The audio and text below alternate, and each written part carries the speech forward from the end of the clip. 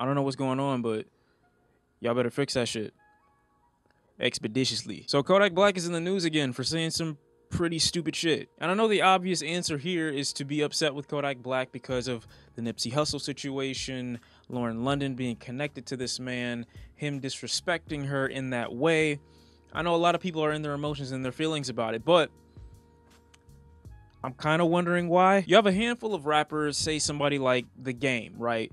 They came out and said what he said to Kodak Black in response to Kodak Black saying that he pretty much wanted to get with Lauren London not that long after Nipsey's passing. Completely ignorant statement. Totally understand the look. But then I go back into the game's history and I look at what he just did late last year, which was try to make music centered around calling out the wives of men who were in the industry right now for sleeping with him before they got with their current, in a way disrespecting them and disrespecting the men that they were with. Now, I know people are going to bring up the next argument. Well, they are not dead. Come on. Really? That's like a straw man argument, right? Like, it doesn't matter if the person is dead or alive. This is someone's wife and they're in a marriage or in a relationship. You're being disrespectful to the relationship in its entirety, not just to one person. When I looked at the game come out and say what he said in response to Kodak Black saying what he said about Lauren London, I immediately thought to myself, well, this is a guy that looks at Lauren London as Nipsey Hussle's property, which is why a lot of people are upset with what Kodak Black said about Lauren London because they don't view her as her own individual. They view her as his property. You are something that was connected to Nipsey. It would be the same thing if Kodak said something about Nipsey's kids, Nipsey's business, Nipsey's house, Nipsey's hometown. They look at her as a part of Nipsey. Now, to a degree, I understand why you would look at her that way. It makes sense. This is something that Nipsey cared about, something that Nip- Nipsey cherished, something that he loved. But it let me know again where my morality when it comes to rap music stands because I've said this before that rap music tends to move like the Catholic Church. I felt like people were outraged over this situation, and I understand the outrage and where it comes from, it being so close. Like I said, Kodak Black is a complete fucking idiot, a complete moron, but sometimes his moronic behavior makes other people seem smarter than they actually are because they come out and say the obvious moral shit that's supposed to be said in response to Kodak saying whatever it is that he said, the dumb shit. So then they prop themselves up above Kodak and make themselves seem as if they're being this philosophical individual for propping up their own morality, when in reality, you're just saying some pretty obvious shit to a dumb individual trying to make yourself seem smart. Which is why we should just pay Kodak no attention whatsoever. But I was making a point about the rap game moving like the Catholic Church. Kodak Black is going through some rape charges right now. I found it funny that people didn't want to start like really majorly canceling him until he said this shit about Lauren London connecting him to Nipsey Hussle. I found it odd that majority of the rap game didn't feel the need to cancel him, quote unquote, and remove his face from museums. He, he says some really funny shit in regards to T.I. taking his face off of that museum because he said, You didn't get my permission in the first place. He's stupid. I just found it odd that the whole rap game wanted to remove Kodak for saying what he said about Lauren London because they want so hard to respect Nipsey Hussle most of whom who are defending her in this situation haven't reached out to her, haven't asked her any questions, haven't said, Are you okay? Haven't said, How are the kids?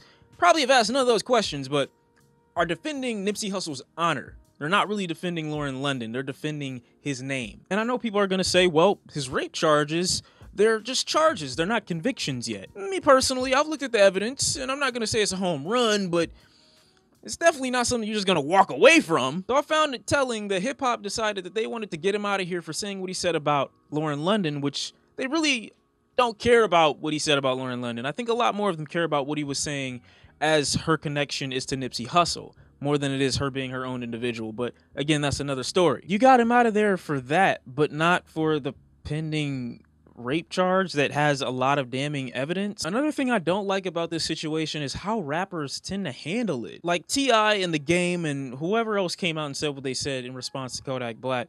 I know a lot of them portray themselves as having good intentions. And I don't want to make it seem like they're coming from a horrible place, but you can't sit up here and act like you're not disrespecting the kid the same way he was disrespecting whoever it is that you felt he was disrespecting when you tell him take that shit down remove this check yourself what are you gonna do? Kodak is 23 years old a dude from the hood and i'm sure any other person that talks to him in that way he's gonna be like why are you posturing? Why are you getting on social media trying to act like you're gonna do something to me if I don't go with what it is that you say. Which is how a lot of rappers that are older tend to carry themselves as if there's gonna be this major consequence to a younger guy if he doesn't respond the way they want him to. Thereby making yourself look cringy for trying to portray the tough guy image even though you're really not gonna do anything to this guy and giving him more attention just for being a fucking idiot. Kodak being from where Kodak is from clearly doesn't see a problem with his actions. And I'm not giving him a pass for that. I'm definitely advocating for change, but the change isn't going to come through a 45 second to 60 second uh, rant on Instagram telling him that he better change the way he speaks or else. If y'all were really concerned about this kid's well being and you wanted him to change his communication, you could have easily picked up the phone and called them. Y'all are all tied up in the industry. I know you probably have this kid's phone number. This isn't one of those situations you need to take to social media because you already know it's fucking insane. Any person that's adding their opinion to this in regards to jumping on the hate for Kodak Black bandwagon in response to what he said to Lauren London is, in my opinion, just looking for attention. Because not only are you not saying anything new, you're just adding fuel to the fire. Kodak Black is acting exactly how I would expect someone from Kodak Black Black's area to behave. A guy that only is concerned with making his money and getting him and his people out of the hood. And after that, it's smooth sailing. He can do whatever the fuck he wants after that. That is his only concern. If you really wanted to give him insight and make sure his communication grew beyond what it is right now, you would have spoke to him. You have to understand there were only two steps for a guy like Kodak. Get his friends and family out of the hood and staying rich. And after that, it's an easy ride.